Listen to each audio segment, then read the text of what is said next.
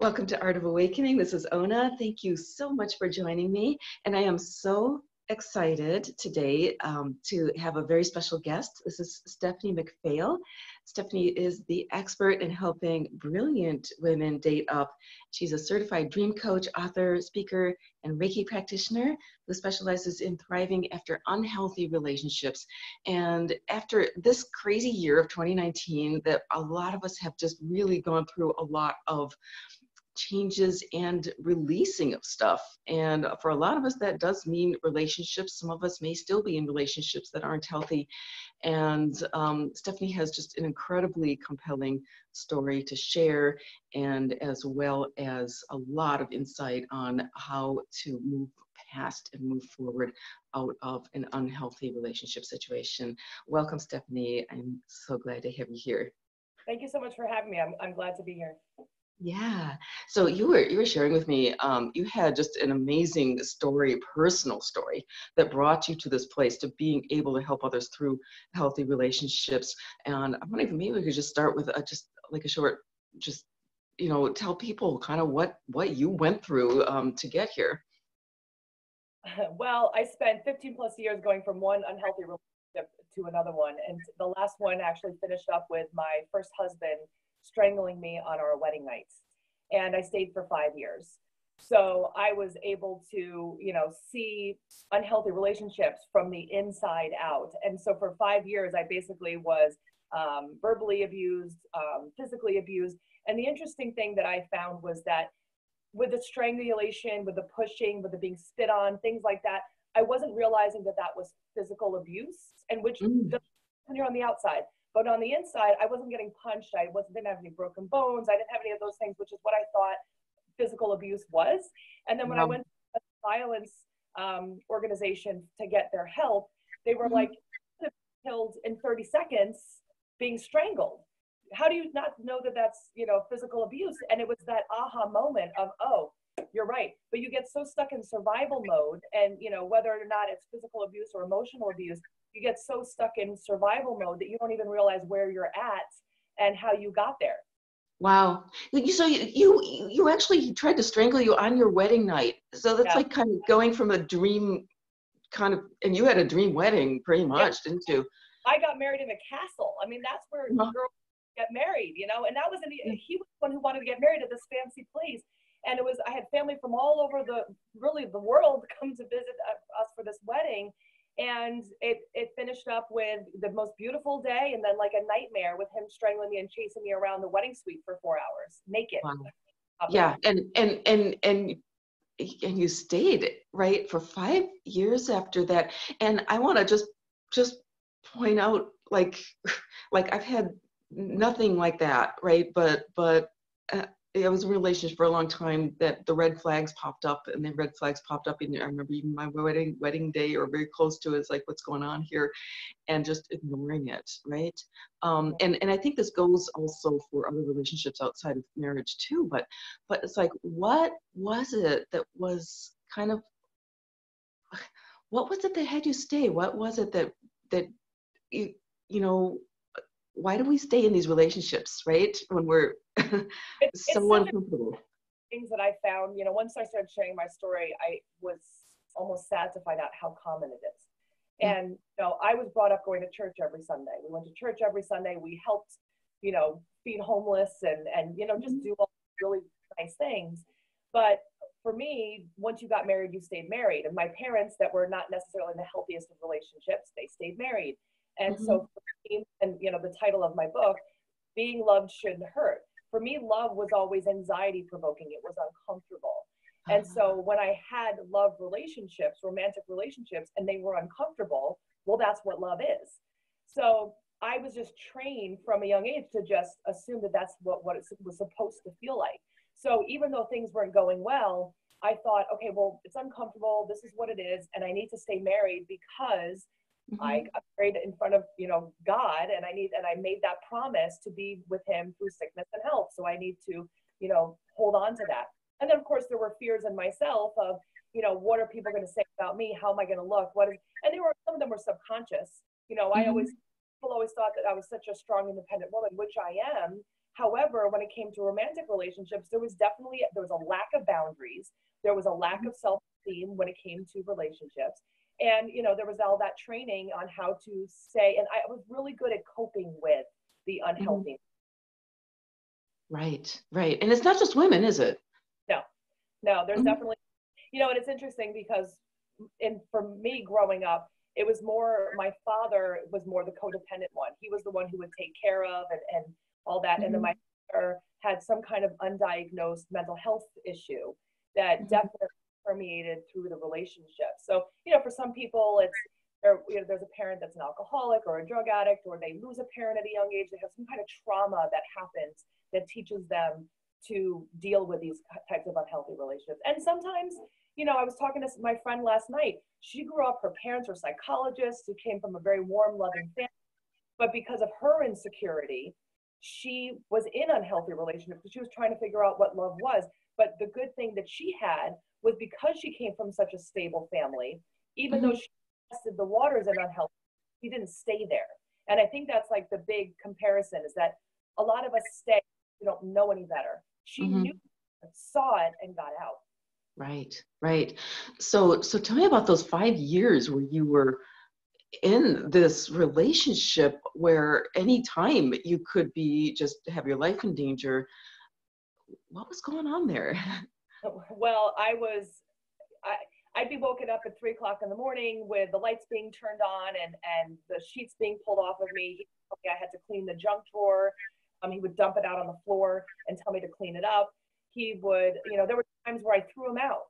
I would say I can't, you know, he would he would leave me places. We had we had gone to a um, some kind of concert and it was snowing and, and just terrible weather out. And he kept telling me that he was going to leave me on the side of the road. And I'm thinking almost like, please do, because I'm going to call the police. like, just get me out of this car. I'm, I'm so mm-hmm. uncomfortable being in this car with him. But so I would throw him out. He would tell me he was getting therapy, he was getting work, he would seem like he was doing some, some good stuff. And he would play the part well of, of doing the right thing and I would see him with his friends and I would think, oh, I wish he was like that with me. You know, maybe it's something that I'm doing wrong that I'm causing him to behave this way. Mm-hmm. And so mm-hmm. if I change this about myself, because he would tell me, you know, we would go out, he would say, you know, people people don't want to hear about what you have to say. You know, you you speak too loudly, you have too much to say, you're too opinionated. And so all those things that was too much for him. And so he was trying to do everything he could to bring me down. And I was yeah. allowed because of the insecurity. But well, maybe I am much because I, I have not had a healthy relationship. So maybe it's just that I'm just flawed in this way. And I just need to deal with someone like, thank goodness he's here to help me, you know, change this bad part about me, you know, again, subconscious. But yeah. that was, and that was what it was. It was, you know, this, this back and forth. We got so used to the drama of the back and forth that became our relationship. Wow. Right. And so what was it? How did you, what triggered you to finally leave the situation? Well, I had been feeling like I wanted to leave because I kept thinking, I can't live my whole life this way. This is not what I was mm-hmm. put on earth to do. And so I had spoken to a friend of mine who said, listen, he'll never think to come here. We don't talk a lot. She's like, you're welcome to stay here as long as you need. And I said, okay. And so I was working a second job and he sent me a text message and said um, that he quit and all I'm thinking is, oh my gosh, like you quit your job. How dare you? So I said, please, sweetheart, go back and tell them that you made a mistake and beg for your job back. And he said, you know, I'm not going to repeat the exact words he said because they weren't very nice, but he said, you know, just like typical Stephanie to not support her husband. And I remember looking at that text message and thinking, all right, I'm done. I sent a message to my friend. I said, is that offer still open? She said, of course. And so the next day I took a bunch of my stuff and I moved out, even though it was my house. I was the one paying the mortgage. It was my house. Mm-hmm but I didn't care. You know, I left my dogs. You know, there's there's all those things where, and not that I wasn't worried about my dogs, but I was more concerned for my safety, and I was more concerned with starting new and getting away from that situation where I knew that there was all these reasons to stay because it was my house, there were my dogs, there, but he wouldn't leave. So mm. I knew what was right for me and say, you know what, if you burn down the house, I don't care. If you if something happens, it doesn't it doesn't matter to me anymore. But for me, my life is important enough that I'm willing to put myself first for the first time, probably ever. Right. Wow. So so so what was it that changed in you to to finally put yourself first and finally realize that you deserve better? Well, you know, I think my mom had said something to me that I felt was really, really magical in what she said, and it kind of sad at the same time. That she said, you know, do you want to live this way the rest of your life? And she said, I, and she basically told me that she had been living in an unhappy marriage, which was obvious, I knew. And she mm-hmm. said, you know, you, you can't get that time back. So when you're on your deathbed, do you want this to be your life? And you know, she said it, and I was, of course, I was like, no, I don't. But then it just kept kind of just ringing in my head, like it just kept repeating over and over again. And I kept thinking, I no, I don't. I know that there's something more. I know that there's there's something else for me. And you know, I had to let go of because I was 34. But I remember thinking to myself, okay, this is how I felt. I felt like I was getting older and I wasn't going to be able to have the family and get married and do all that kind of stuff. And but I remember thinking at 34, I was like, wait a minute. I felt this way at 31. I felt this way at 32, 33. Here I am 34. I feel exactly the same way. I just feel so unhappy and feeling like there's so much more for me. I'd rather be alone than with someone where I feel so alone. And mm. that was where like and that was where I said, you know what? Okay, that's all the things that I need to do to really start changing my life. Wow. Yeah. So so so you left and then what brought you to this place where you've actually because there's always like in in any kind of challenge there's always this point where it's like this turning point right? But then there's this point where you can actually take this amazing experience and incredibly challenging experience and and bring it back to to help others or to to to there's always a gift in there. Oh there was a huge gift. And and so what's interesting is that after that um, a few months later i actually ended up getting a dwi um, and i had gone out with a friend i'd had too much to drink so i sat in my car because i knew that i couldn't drive and um, you can get arrested for sitting in your car because your keys in the ignition is called intent to drive so even though i wasn't driving i got a dwi um, but then I was put on probation. I had to have one of those breathalyzers in my car. So that happened. I had a probation officer I had to talk to. Um, my grandmother passed away. Um, I started dating a new guy. He ghosted me. He disappeared. Um, I got a blood clot in my arm and I mm-hmm. fell into a depression. Like I, I mm-hmm. lost pounds. I couldn't eat. I couldn't sleep. It was awful. And then I got pink eye and then ankle. Oh yeah. Yeah. So, so your I, whole life basically fell apart, right? Awful. Uh, this was the space of how long? In like three months. it was right. and I was like, this is supposed to be good. I left horrible, and this is what's happening. Like, what universe doing to me? Like, I was so didn't understand. And I, you know, I I'm in this depression, and I have this sprained ankle, and of course, you know, I sprained my ankle at work, and the person who was on my sheet for emergencies was my ex husband. So they called him. And so now the hospital, the emergency room is my ex husband, my swollen ankle, and the doctor. And all of a sudden, it was like I heard a voice that said, You are your own knight in shining armor. Nice. Because I kept looking for someone else to come save me. And in mm-hmm. that exact moment with tears and like this weird laughter, I was like, I get it. I, I, I get it. It was me. I'm the one who needs to fix this. I can't wait for someone else to come and save me. So in, in that moment of my sprained ankle, I the depression, it was like it turned off. Mm-hmm. And was able to it was almost like the world was brighter. You know, it's like I could see white light coming out of like certain people and there were certain pulls that I started to feel and I started to if it felt good I did it and I started to surround myself with people that were healthy and healthy relationships and you know I traveled cross country with one of my friends and you know I just did all these things that were great for me and I had such a great time and that was really what I had a therapist and then I mm-hmm. had actually, and then I said, you know, I think I want to start a business, but I wasn't sure what I wanted to do. So I had gotten a uh, coach to help me um, with business. And so that combination, along with getting the right support from family and friends that were healthy, mm-hmm. was amazing in my transformation. And then I was able to attract my best friend, who's now my husband, and we have two beautiful children together. Wow, that is just such a beautiful story and such a beautiful transformation. And um, just, I don't know if you can tell me a little bit about your spiritual journey in, in there, how that ties in, because you, you just you did mention like hearing this voice, or sounds like you had an awakening in there. Um, yeah, in that process. Thing, the guy who ghosted me, the you know the reason why the universe put him in front of me was because he helped me reconnect to my spirituality, and uh-huh. Was really interested in like he followed a few people like I don't know if you've heard like Terence McKenna or you know um, what's his first name? Hicks. Um, like there's a few other people that just really talk about the the commonality of, of human beings and how we're all interconnected. And you know mm-hmm. it changed. I had grown up going to church every sunday and i'd never felt as connected. And for some reason i had kind of pulled away from that. And so when i started when i was going through my depression and, and whatever i just kept watching all these videos on basically spirituality and so i was really interested in that and so that i became the reiki practitioner and you know and and now to this day even when i teach my clients I'm looking at your healing from a physical health, you know, emotional health, social health, and mm-hmm. spiritual health. We need really all parts of that in equal right. amount to really be healthy. And so, you know, for someone it might be going to church, but me, it was it was spirituality. It was just that sense that we are all connected. We are all here together to help each other on our journey. Right.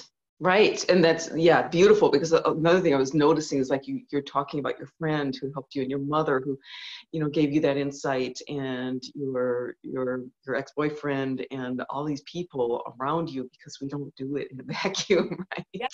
Exactly. yeah. And now you're taking that role as mm-hmm. well. So what led you to, to this specifically? You just kind of well, the coaching actually was interesting. I had decided, so I decided I wanted to start a business, but I wasn't sure what my role in the business was going to be. So mm-hmm. um, I spoke to someone who had a float tank. I had a therapist friend. I had a friend who did massage.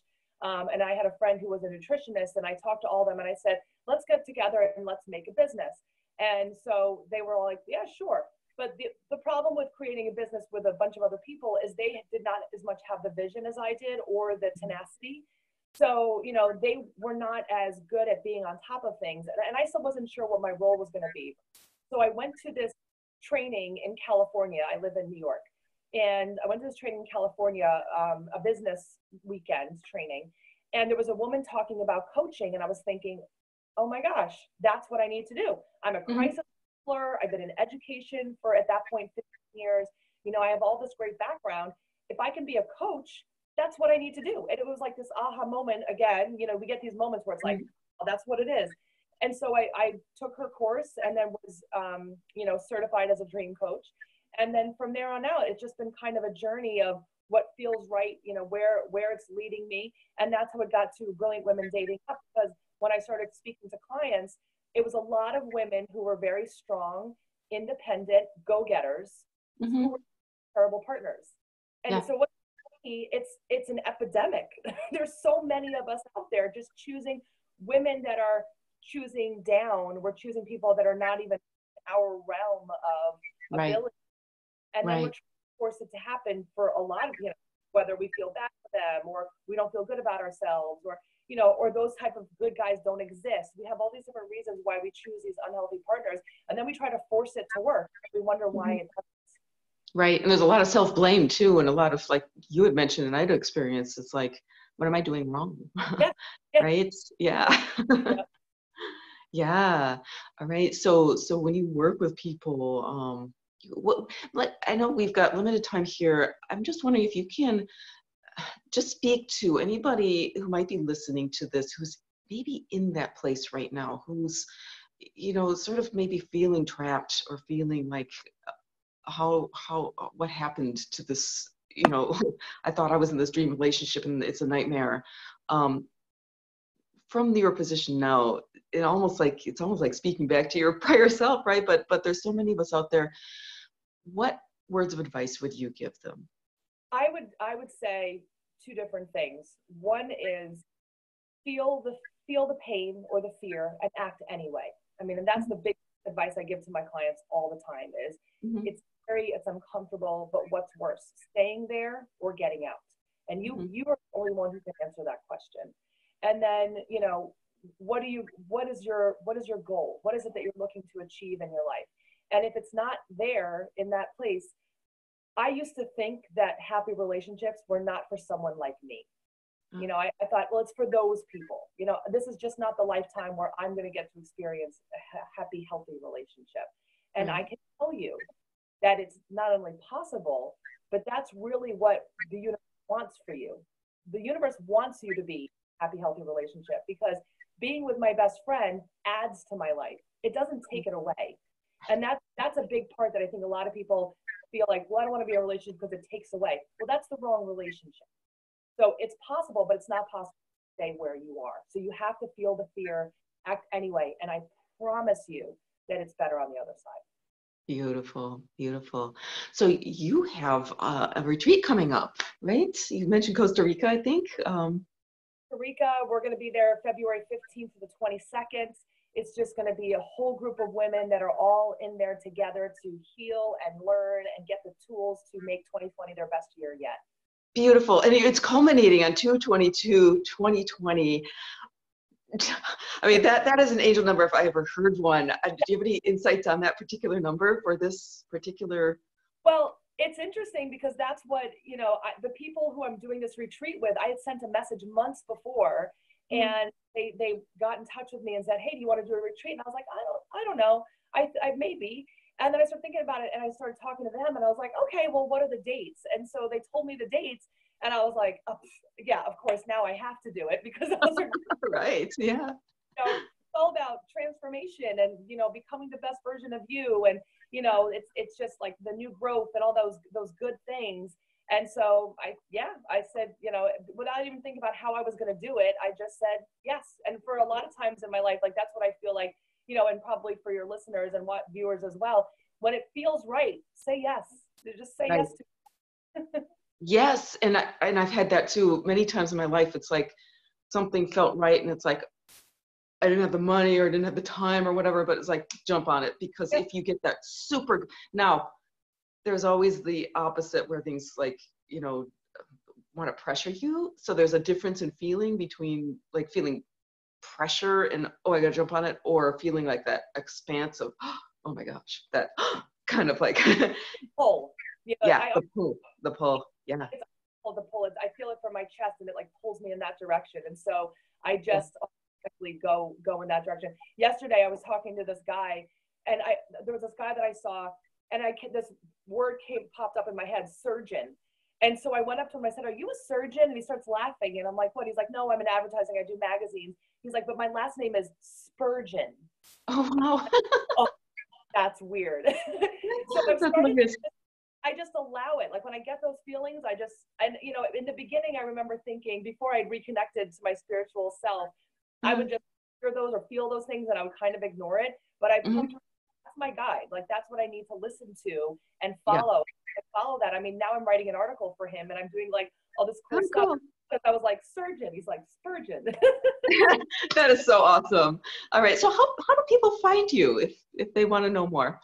The best way to get in touch is go to our website, beinglovedshouldn'thurt.com, and you can read off all about Costa Rica and all the other great stuff that we're doing. We're actually later on today, we're going to be doing a big day of Facebook Lives educational um, series um, in our new group, Brilliant Women Dating Up. So we'd love to have you if this resonates for you, or if you know someone that it does, you know, feel free to share it with them as well. Perfect. So this is Stephanie McPhail, Being Loved Shouldn't beinglovedshouldn'thurt.com, and you've got a Facebook group too. Um, thank you so much for joining me and joining us today. Um, it's it's been a real pleasure. Um, just amazing story, amazing energy that you're you're bringing. Um, so I I so appreciate your your time and. Uh, looking forward to keeping connected. Yes. Okay. All right, I'm gonna go ahead and stop the recording here and um, we'll catch you again soon.